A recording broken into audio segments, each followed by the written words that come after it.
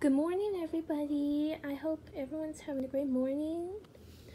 So, if you are, then that's great, but mm, let's just get to what I have right here.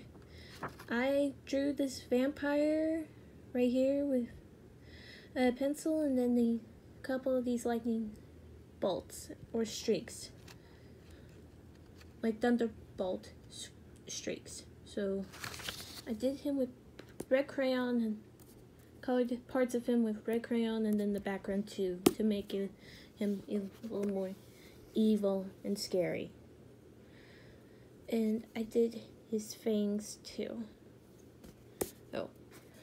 And I have another one right here that I started working on, but he's not finished. So when he's all complete and done, then I'll feature him when he's all finished. Just like this guy right here.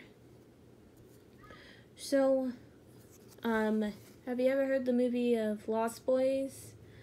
So that's why I decided to draw these vampires. So I'm going to make one more of these. One more vampire, and then I'll feature him too, just like this one, but only when he's done like this one. So, um, yeah, that's all for now that I wanted to show. So, there's nothing else I wanted to say. But I gotta go for now. But go ahead and leave a like on this video if you do. And subscribe to my channel. And then more videos will be posted up. So, have a great morning and also take care. Till next time. Goodbye.